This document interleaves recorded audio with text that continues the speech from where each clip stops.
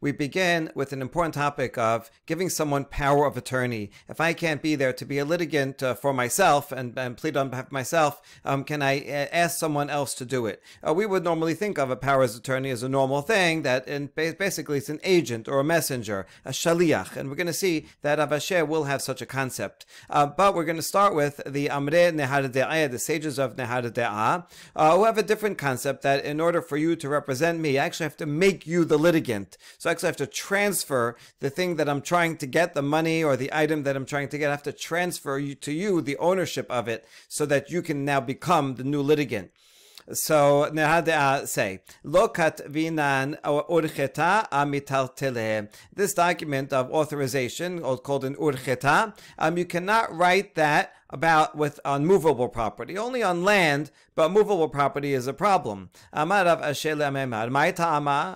mishum eh, derabi Yochanan. So Rav Ashi asked Amemar, what's wrong? How come the, rabbis of Nehardea say that you cannot make this power of attorney document uh, for a movable item? And the answer is because of what Rabbi Yochanan said and this halacha that we've already studied. Da'amar Rabbi Yochanan, Kazal veLoni nitjashu ha'ba'alim shenehem enam yicholim lehakdish. Ze lefi she'eno shelo ve'ze lefi she'eno birshuto. If someone steals an item and the, uh, the owners have not yet despaired in getting it back um, and so now the thief has it in his possession, but is still owned by the original owner. Neither of those two people can make it hekdesh, can consecrate it. The thief cannot because it doesn't belong to him, and you can't consecrate something that you don't own. And the owner also cannot because it's not in his physical possession. It, the, the thief has it, and therefore neither can do that. Well, how is that relevant to this? As follows. Just like you can't concentrate, consecrate something that you own but is not in your possession, so too you cannot transfer um, control and ownership over something even that you own but is not in your possession. So in this case, the owner, some guy owns a watch. He gives it to a watchman to um, to uh, uh, hold for him, and then he comes to claim it, and the wa- and the watchman is like, "Oh, what watch? I gave it back to you. You never gave me a watch. Whatever." He's denying it. Now the owner doesn't have time to deal with this, or he's in a different country or whatever, so he wants to appoint an agent, a lawyer, to deal with it for him. According to Nahar the mechanism is not it's not just a shaliach. The mechanism is that the owner will transfer ownership of the watch to the lawyer. But in order to transfer it, you need the actual item, because Rabbi Yochanan says, we're assuming, just like Rabbi Yochanan says, you can't consecrate an item that you own if you don't have possession. So too, he would say that you cannot uh, transfer ownership of an item, even though you're the owner, if you don't have it in your possession. And therefore, there is no way to make a, this document of authorization for a movable ob- uh, for a movable item uh, be- that's not in your possession. That's one version of what Nahar said, a different version that does not makes no reference to the Biochanan. So this is nothing, it's come totally different. It's just still a limitation on when you can um, make this kind of authorization.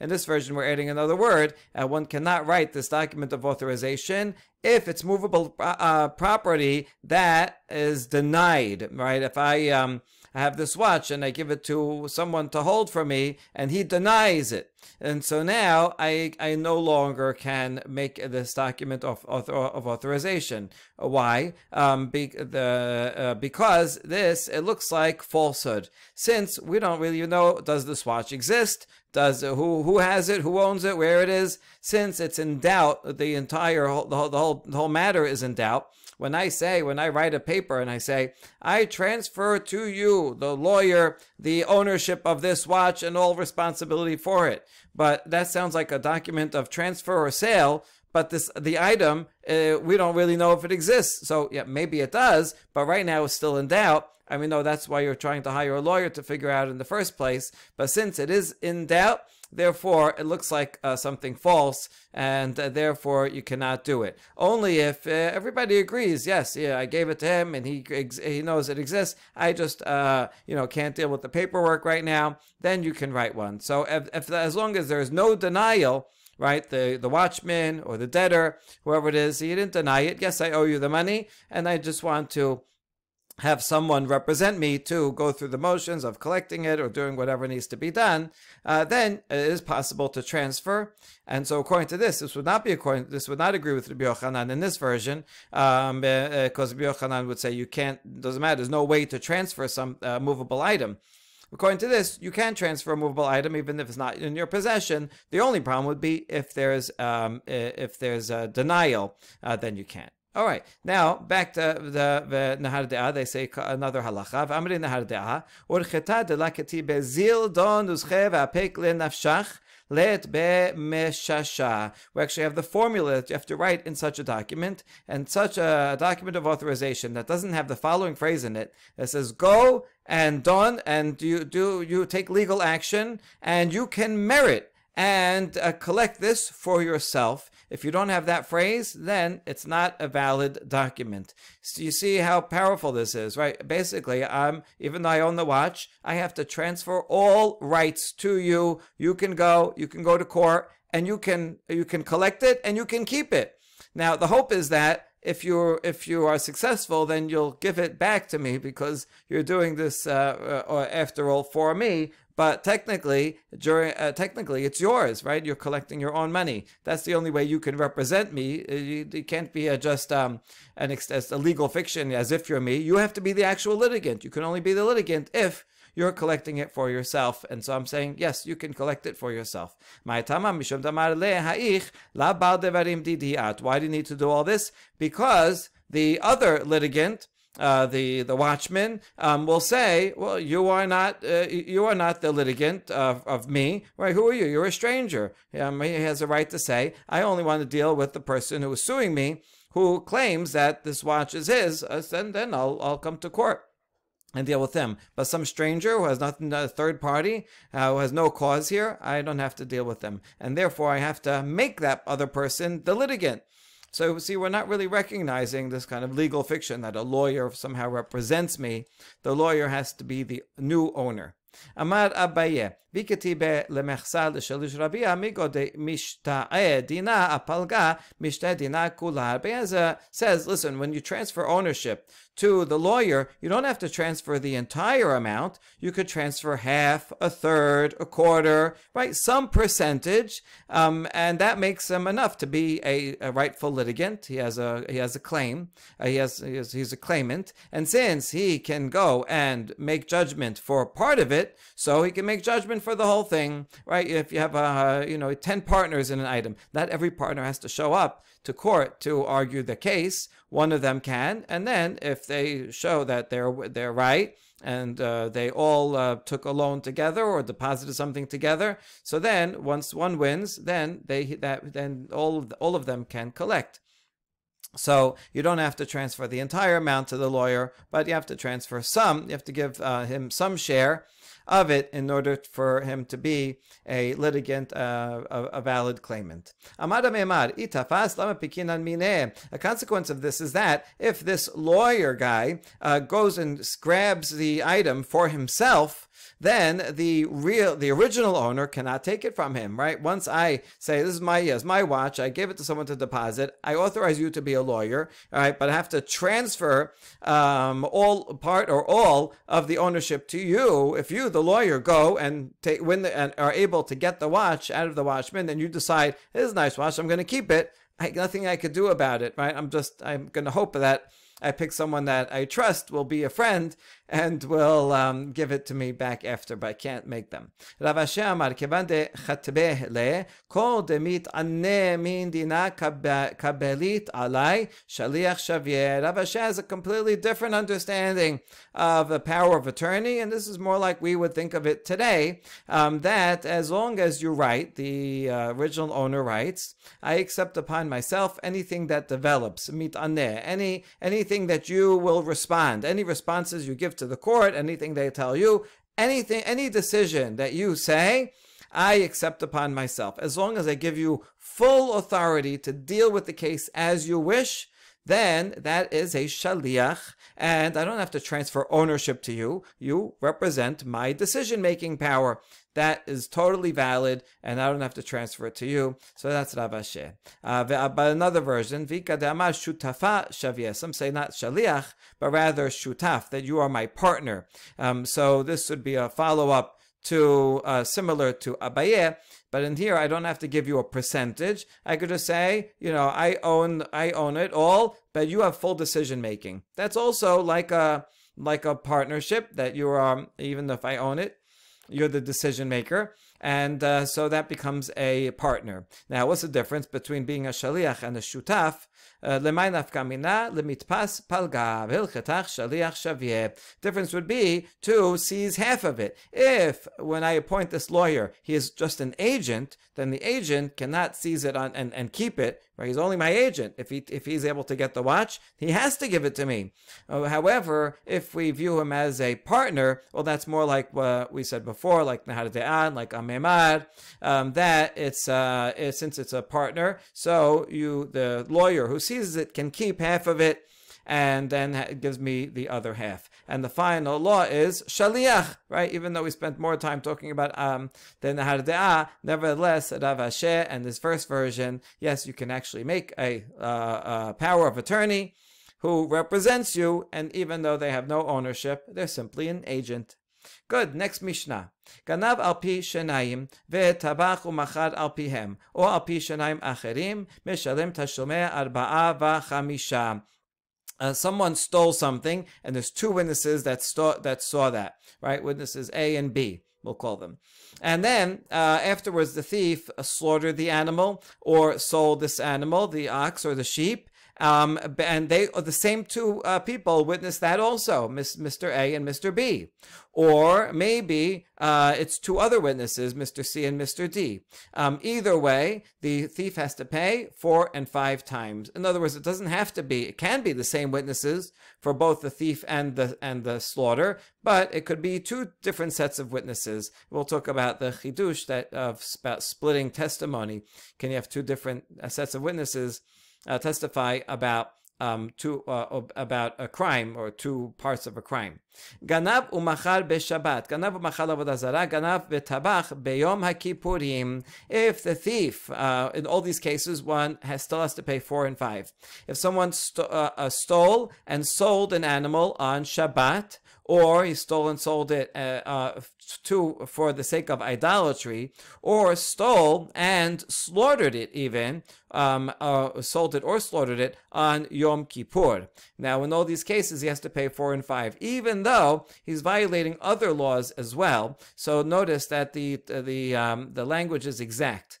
If he would uh, steal and slaughter it on Shabbat, well, slaughtering an animal on Shabbat is one of the melachot, Torina melachot, isur de oraita, uh, liable to the death penalty. And so if he would do that on Shabbat, since he's liable to the death penalty, we apply kim le he only gets the bigger punishment, which is the death penalty, and therefore does not have to pay man- money. He does not have to pay four or five since he did the slaughtering, and this is the very same act of slaughtering as uh, both violate Shabbat and um, triggers a four and five, and therefore, since he can't get both, he only um, he would only pay uh, he only get capital punishment. That's if he slaughtered it. But selling, buying and selling on Shabbat is not capital punishment. It's a gezerah that you may come to write, but uh, if you don't write, then it's only a gezerah. Uh, therefore, it's kind of surprising that what we think of as work is business trends. Most people, all right, uh, businessmen are working and uh, buying and selling. Uh, we think of that as work, but actually in the 39 melachot, it's only actually creating, doing something that creates something new, and buying and selling uh, is not one of the 39 melachot. Since, although it's prohibited to, to sell something on Shabbat, since there's no capital punishment, he does have to pay four and five. Also with avodah zarah, if he would do shechita, if he slaughters an animal for avodah zarah, that's liable death penalty, and he would not pay four and five. But simply selling an animal for avodah zarah is not. There's no death penalty, and therefore he has to pay four and five. Yom Kippur, even whether he sells it, that's for sure, and even if he slaughters it um, on Yom Kippur, if someone violates does melacha on Yom Kippur, um, they get karet, but not um, death penalty in the hands of a court. And since there's no death penalty, even for slaughtering on Yom Kippur, um, he also has to pay four and five. Right? That's um, important that really the holiest day of the year people think is Yom Kippur, but Shabbat is more stringent than even Yom Kippur. And so in all these cases, there since there's no death penalty, there's no uh, kimle b'drabamine, and one has to pay four and five. גנב משל אביו וטבח ומכר ואחר כך מת אביו, גנב וטבח ואחר כך הקדיש, משלם תשלומי ארבעה וחמישה. If someone steals a uh, sheep from his own father and slaughters it or sells it, and then his father dies, such that then he will get the inheritance, or he and his brothers, if he has brothers, get the inheritance. He still has to pay four and five uh, because um, he stole it and slaughtered it, slaughtered it when the father's alive. So therefore, yeah, even if the father dies, he has to pay into that four and five to the inheritance, which will then get split um, between him and his brothers, but still he has to pay. If he slaughtered it, uh, uh, stole it and slaughtered it, and then made it hekdesh, he has to pay four and five because at the time that he slaughtered it, it was still not Hekdesh. This is uh, in contrast to the we saw in the previous Mishnah that if he steals it, then becomes Hekdesh, and we discussed either he makes it Hekdesh or the owner makes it Hekdesh, whoever. If he steals it and then it's made Hekdesh, and only then he slaughters it, he does not have to pay four and five because you don't pay four and five to Hekdesh. But here he slaughters and he steals it and slaughters it before Hekdesh, he's already liable to pay the owner and the fact that it makes it hekdesh after does not change that. גנב טבח לרפואה או לכלבים, השוחט ונמצא טרפה, השוחט חולין בעזרה, משלם תשלומי ארבעה וחמישה.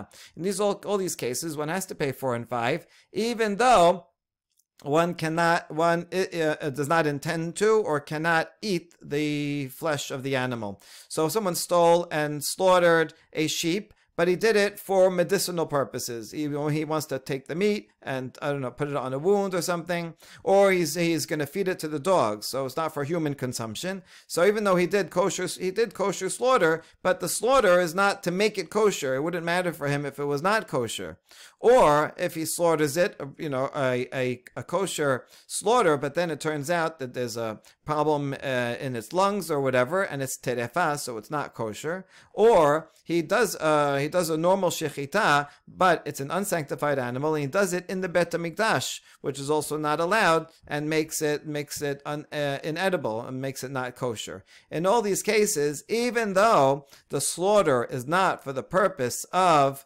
of getting kosher edible meat, um, nevertheless, he still has to pay four and five. Just the act of doing a slaughter. Um, see, you don't have to pay four and five if you like throw it off the uh, a cliff or just kill it in another way. You only have to pay the four and five if it's if it's a proper ritual slaughter. And so, as long as a proper ritual slaughter, even if it ends up not being kosher or you don't intend to eat it, doesn't matter. You still that still triggers the four and five. However, Rabbi Shimon poter bishne elu. Rabbi Shimon disagrees with the last two. He agrees in the first two because the first two you're doing ritual slaughter, even though you meant to feed it to the dogs. Technically, it's kosher. You could eat it. You could change your mind.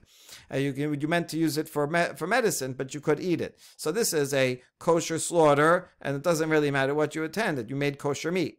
The second two, Rabbi Shimon says that um, uh, uh he, Rabbi Shimon says, not, oh, not only here in general, that um, uh, a, a, a, something is called uh, shechita only if it successfully uh, creates kosher meat. Um, uh, but if for some reason, let's say it's a terefa, then the shechita is not called a shechita. Even though, if you look, uh, take a camera, right, it looks like the same thing from the outside, um, he's doing the same uh, exact same act, but if it turns out that for whatever reason it's not kosher, either because it's terefa or because it was done in the wrong place, um, and it's not edible, that's not called shechita, and therefore the Bishimon says you don't have to pay four and five in these last two cases. The Gemara now comments on the first case of two witnesses that say we saw he stole it, and a different set of witnesses say that we saw him slaughter it. למה מתניתין דלא כרבי עקיבא, די רבי עקיבא אמר דבר ולא חסיד דבר. It seems that our Mishnah cannot possibly reconciled with Rabbi Akiva, because Rabbi Akiva quoted the pasuk that says, "Al pi shenaim o shelosha adim yakum davar." You need two or three witnesses to attest to a matter. So that means it has to be a full matter and not half of a matter. In other words, Rabbi Akiva is saying you can't have um, two different sets of witnesses, uh, both ta- both come test testify about two parts of a sin. You need one set of witnesses to talk about the entire sin. For example, uh, you can't have one set of witnesses come and say, "We saw this guy eat half a kezait of pig." And another two set of witnesses said, we saw him eat another kezait of pig, a second one. Uh, right, there was two on his plate. One saw one, one saw him eat the other. These two things do not combine. Uh, in order to hold someone liable or to prove something, you need the one set of witnesses to say both. And so here, according to the Akiva, it seems you would need one set of witnesses to see the entire crime from the theft to the slaughter in order to make the person, the thief, liable to pay four and five. And here you have one set of witnesses for the theft and a different set of witnesses for the slaughter. And so you cannot combine two different sets of witnesses for one crime. And therefore, Rabbi Akiva cannot be reconciled with our Mishnah. De Tanya, Amar Rabbi and now we have the source for when where, where Rabbi Akiva actually says this principle. כשהלך אבא חלפתא אצל רבי יוחנן בן נורי ללמוד תורה, ואמרי לרבי יוחנן בן נורי אצל אבא חלפתא. So this is Rabbi Yosef says, this is Rabbi Yosef ben Halafta. So he's talking about his own father, Abba Halafta, went to study with Rabbi Yochanan ben Nuri. Or some say it's the other way around, this Rabbi Yochanan ben Nuri went to study Torah with Abba Halafta. In any case, uh, one said to the other,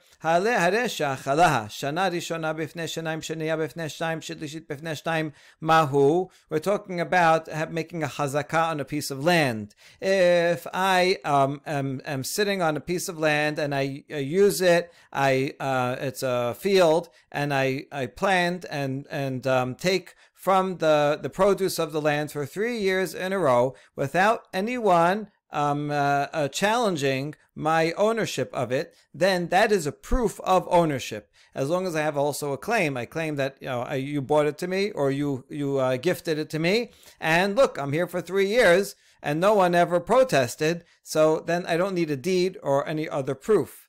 But uh, first, you have to be there for three years, and you need witnesses that in fact you were um, there and you that that you uh, ate the crop, right? You um, you benefited from the crops uh, that it grew um, all three years. So here we have a case where there's two witnesses that say, yeah, I, this guy lived there for one year, and the second set of witnesses say, yeah, this guy lived there for uh, uh, uh, another year. And the third come and say, you know, year number three, we saw him there. But these are three different sets of witnesses.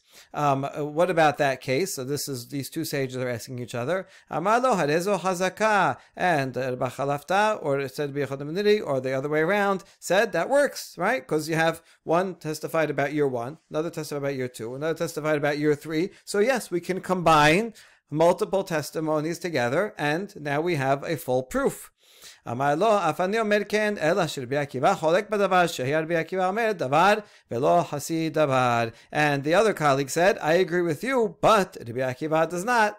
Because uh, he said uh, the, that um, one set of witnesses has to testify about the entire matter, the entire proof. If it's like a case like this, you need one set of witnesses to say, we saw this guy live there and eat from the crop all three years.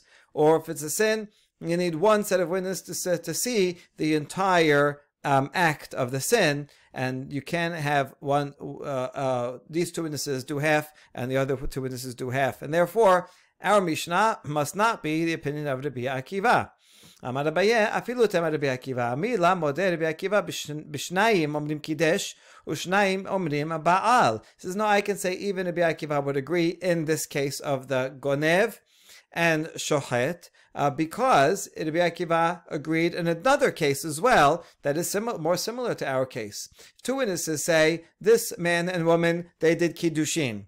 And then, right, they did the ring ceremony. Good. Now they're right. They're they're they're mikudeshet. And then the second set of witnesses said, we saw that this couple, the same couple, uh, did, did bi'ah, meaning for nisuin. Um, now these are two separate ones. Can we combine them together and assume that they did kiddushin and nisuin? Right. There are consequences if there's um, if there's only kiddushin or if there's also nisuin. Um, so uh, yes, yes, we can. Even the Akiva would agree that we can combine these two sets of witnesses. Why?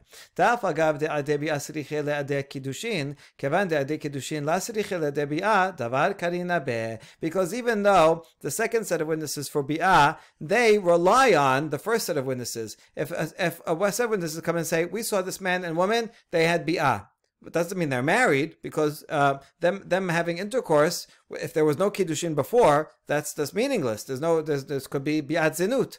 Um, it doesn't mean that they um, that they're they're married unless we know there were there was kiddushin before. So the second set of witnesses needs the first set of witnesses. However, the other way around is not true. The Adek kiddushin don't need the second set of witnesses. They are a standalone testimony that has significance. Two witnesses that say we saw the ring ceremony. This man and this woman are mikudeshet. That has a lot of legal significance, legal significance by itself. So therefore, that that stands alone. Since that part stands alone, therefore, be, everybody would certainly agree with that, right? And uh, then even the Akiva would agree that the other half can also stand alone. The debia can be a different set of witnesses. You don't then need them to be the same, right? Because this is Davar, Karina Be. They're testifying to a whole matter, the Kiddushin, and therefore the ones for Nisuin is now it's a, a, separate matter that can be separated from the two. Unlike the three years where um, testifying that someone uh, sat on the land for one year has zero halachic significance, right? In no case does that matter and therefore, right, that that cannot add up to more. But as long as the one part of it is, is standalone, then the other part can be a second set of witnesses. And that applies to our case, our Mishnah as well.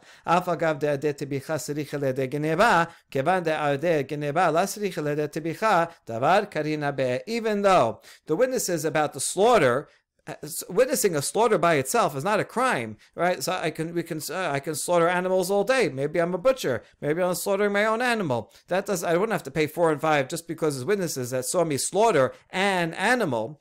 The witnesses to the slaughter are only significant if they uh, come after witnesses that that say I stole it. So therefore, that's not standalone. However, the other way is standalone. Witnesses that come and say I stole this uh, ox that by itself is a crime, and therefore it's standalone, it's significant in and of itself, and certainly those witnesses that, that are significant, they can be separated from the second set of witnesses that say that I slaughtered it. Um, so therefore, even Rabbi Akiva would agree that since one part of it is standalone, so too the others uh, can be standalone and do not have to be the same set of witnesses, right? That's called davar. And it's good. This is great. So now our Mishnah is not only the Rabbanan, can also be Rabbi Akiva.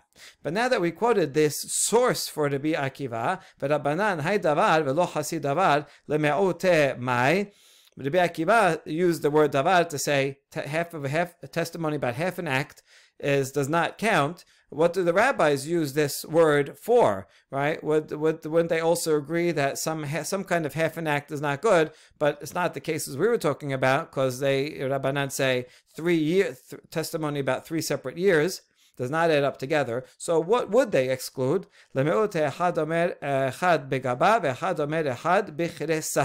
if you have testimony to see if a girl has is a minor or has become an adult, you, uh, we have to see if there she has two hairs. Uh, normally, uh, a, even one woman can examine her and see if there's two hairs, but there are some cases where you need two valid witnesses to see uh, to uh, uh, to testify about this. So one witness says I saw one hair on her back. It's a euphemism for her privates. He saw from the back. And another one said, I saw her, I saw one, only one hair on her, on her belly in the front. Uh, so uh, these, uh, uh, uh this does not count. Even Rabbanan, who say you can combine two, uh, two sets, separate testimonies, but in this case, you cannot combine them. Before we explain that, first we have to say, wait a second, is only one witness to one hair and one witness to another hair? Hi, chasi davar v'chasi adutu. This is not only half of a matter, it's also half of half testimony. There's only one uh, witness to each. So no one thinks you could combine uh, two uh, witnesses what that each saw different things. So that can't be that that, that can't be what it means. Rather, we have to mean it, must mean echad means one pair, right? Said, but so let's change that to mean uh, make it clearer. Two witnesses said we saw one hair on her back. Two witnesses said we saw one hair on her front. Um, and that also does not count. Now, how come the rabbis? How is this case different from the one uh, the the one before. How come the rabbis say over here you can't you can't you cannot add them together, but in the case of three years that you can add them together? And the answer is is fundamentally different. Here, where uh, oh, two sets of witnesses say we saw one hair, they're not uh, they're not just uh, uh, not only are they not testifying to something significant because one hair is not significant it's actually opposite. Testimony that she has one hair is testimony that she is a minor right? She's saying oh we saw one hair. That means she is a minor. And so you have actually two sets of witnesses saying she is a minor. So that doesn't add up to the to uh, testimony that she is an adult right? It's two witnesses two witnesses that that actually saying the opposite of what we what we are trying to prove that's different from the years where, um, okay, you come and said that once everyone says uh, we saw this guy be squatting on this land for one year. Okay, that doesn't prove that they own it, but it's not against that he owns it. Could be he's the owner and he's there for one year. So in that case, they can add up to make a full case. Here, the testimony by the, by itself is actually a negative testimony, and that's why even the rabbis would not uh, uh, uh, would even the rabbis would agree with Rabbi Akiva that in this case you do not add, add, them up, and that's what they do with the word davar velo chatzi davar. They also apply it in cases like that. We now move to the next clause of the Mishnah. Ganavu machar be Shabbat. If someone steals and sells an item, a, a ox or a sheep on Shabbat, he does have to pay four and five because this violation of Shabbat is does not require the death penalty. Only sold it as opposed to slaughtering it. Okay, so now we have a baraita, v'hatanya patur. We have a baraita that says the exact same case, ganavu machad b'Shabbat, and it says he does not have to pay four and five. Why not? Uh, so we're going to see a couple of different answers of scenarios. We have to come up with a scenario where selling a sheep on Shabbat is going to violate uh, the oraita and require the death penalty, and therefore would not have to pay four and five. So answer number one: Amar Rami Bar Hama, Kitanya hi de patur bomer lo akos lecha teena biteenati v'tikani li genebutich. So the thief comes to a buyer and says, "Hey, would you like to buy this sheep?" that I that I stole uh, recently, and the buyer says, "Yes, I would like to buy it." Um, and here's how I want to make the transaction. This is on Shabbat. The buyer says, "You see that fig tree over there that I uh, that I own? Go and pull off a fig and take it for yourself." and through that I will acquire the ox. Uh, this is probably a kinyan chalipin, a symbolic exchange, and so then the thief goes ahead and does that. Now he is violating Shabbat deoraita, which requires capital punishment by uh, picking a fig off of the tree. And that very same act is also making the acquisition of the sheep and uh, enacting the sale. And there you go. That's a case where if one stole an animal and then sold it on Shabbat through this type of mechanism, he would be liable to capital punishment and therefore not have to pay four and five. That's the case that this Baraita, this is Patur, was talking about. But the rabbis rejected. They said, Amri, kaman bedina, lo le zir shalim, ha-mechira la. So this sale itself would be invalid because, let's say it came to the Bet Din, right? Let's say the thief did not deliver the um, sheep um, at that point. And then this buyer came to court and said, ah, this guy, this thief, he sold me the sheep and he even plucked a grape off the tree um, uh, in order to uh, to enact the sale. So the sale is final, and he has to give me the sheep. And then the rabbi say, "Okay, when did this happen?" He says, "Oh, on Shabbat." He says, "What? He plucked the tree. He plucked a, a fig off the tree on Shabbat." So the the Bet Din will not tell him go and pay because instead they'll say, take this thief and give him capital punishment for violating Shabbat. And since the it would it would not be a collectible sale, you could not collect it in Bet Din. Therefore, the sale is invalid. I mean, a sale that you cannot enforce is not a valid sale, and therefore it's not it's not it's not a case of uh, uh, of a thief that that uh, stole and sold the um, the the animal because the sale never went through. Ela amarav papa. So we have a second answer. Don't forget the first one. We're going to come back to it and revive it. Amarav papa give the second one. Ve'omer lo zerok genevutich lechaseri v'tikani li genevutech. This guy, the thief, stole a sheep. And he comes and says to a buyer, hey, you want to buy this? And it's on Shabbat. And the, the buyer says, yes, I would love to buy it. Listen, you're in the Shut Harabim over there, you're in the street. Just take the sheep, throw it over my fence into my yard, and I will acquire it in that way. Now, by throwing it into the yard, he is violating Shabbat midoraita, is transferring something from the Shut Rabim to the Shut Yachid. And so it's the very same act of transfer of ownership is also violate Shabbat, and he gets the death penalty. This is the case that the Baraita was talking about, where it said that the thief does not have to pay four and five. Okay, brilliant. But now we analyze Keman, Kerebi Akiva, Damar Kiluta Kemisheun Hadamya, Di Kerabanan, Kevan Dematya Lachasar, Beto Kana, Lian Shabbat, Domechev Ad Dematya La'ara. Says this answer is fine, but it will only work according to the Akiva, who says that when something enters into the airspace of, a, of someone's yard, it's as if it's at rest. You see, for Shabbat, in order to violate transfer, you have to not only transfer, but also put it down. It has to be hanacha on the ground. So the rabbis uh, say, the majority against Rebbe Akiva say that has, if you throw something into a yard, one is not liable to vi- uh, uh, violating Shabbat until it lands in the yard. So that there's a transfer and landing. But Rabbi Akiva says, no, once it enters the airspace, it's as if it landed. So yes, according to Rabbi Akiva, this works because when the thief takes this poor sheep and throws it up into the air over the fence, as soon as it enters the, land, the airspace, he violated both Shabbat and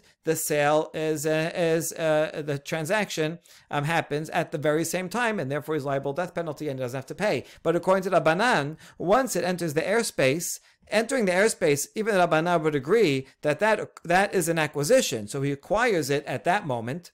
And then, uh, two seconds later, when it lands on the ground, only then does he violate Shabbat. So, since it happens at two different times, we do not apply Kim since it was not at, it was not one act at the same time, but rather uh, they um, happen sequentially. Uh, so, according to Rabbanan, he would have to pay four and five, as soon as it enters the airspace, that's it, you're liable to that. And then when it lands, then he's liable to, liable to the death penalty. So yes, he gets the, the thief would get death penalty, and he would have to pay four or five, according to Rabbanan.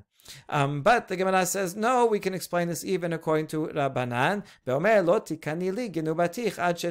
It's when the buyer made a stipulation and said, listen, I, I want the acquisition not to be not to happen when it enters my airspace. I want it to only uh, register when it lands. And so if you make that that stipulation, that's fine, and that works. And then, even according to Rabbanan, where the thief throws it in, only when it lands is he liable to both uh, violating Shabbat and making the acquisition. But since Kim Rabamine, he only gets the death penalty and does not have to pay. That's the case that the Braita was talking about. All right, good. That all that is Rav Papa's answer.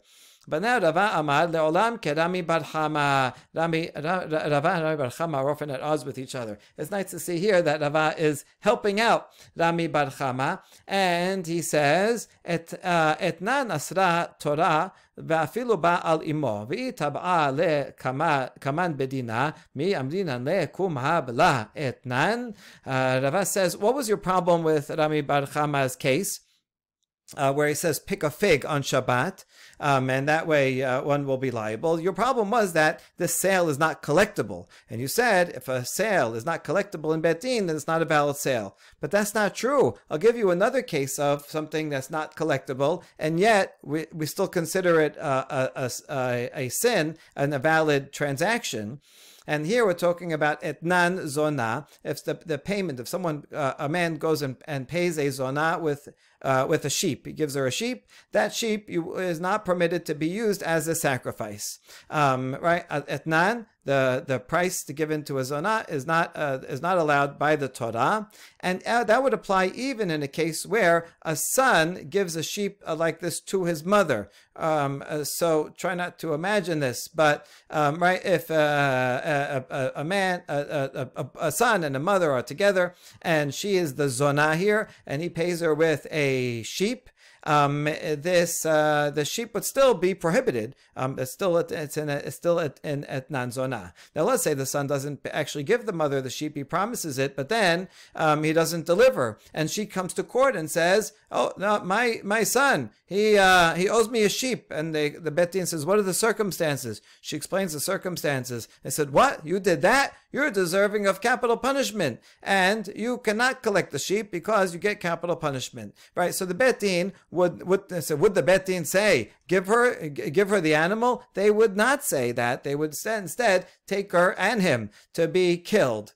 Um, yet, even even so, uh, still that sheep itself is still prohibited um, to uh, to sacrifice um, uh, because it was right. It was given or promised, or, or um, they did have to do. They did some kind of transaction, and uh, it was uh, therefore already at nanzona. So you see that a sale or transaction, even if it's not collectible in court because of a technicality, never uh, um, of uh, of that the, the person is going to get capital punishment.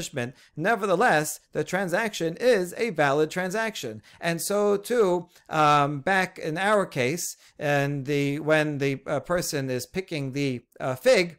Um, and he says, well, okay, that this is a transaction, and then he goes to court to get the se that he bought, and the and the court would say, wait, he doesn't have to pay because he gets capital punishment, um, even though he the the court cannot collect it. Nevertheless, it is a valid sale. Ela af dechi bedina lo amrinan le zil kevan dechi aheb le la have etnan. Now explain further, right? And so in that, in the case of etnan, even though when the mother uh, brings a claim against the son in, in court, it says, you know, I want that se payment. We do not say oh, you have to give it to her. Instead, we give him capital punishment. Nevertheless, um, uh, that which he which he gave her is considered an etnan, and one could not sacrifice it. So here too, even though regarding actual payment, if the buyer comes and says, "I want my said that this guy acquired by taking my fig," um, even though when it comes to court we do not tell the thief go and pay because he gets capital punishment, nevertheless, since you did do an act of acquisition, that is a valid sale. It's true, it's not collectible in court, but nevertheless, it's a valid sale, and therefore, um, when uh, one uh, would be liable to four and five uh, a payment, uh, except that if he also violated Shabbat on the Doraita level, then he would be he would not have to. But it is a case of Mechira that we have to give the chidush that although he stole and sold and did a valid sale, nevertheless he doesn't have to pay because he also gets capital punishment. Baruch Adonai Olam, Amen ve'amen.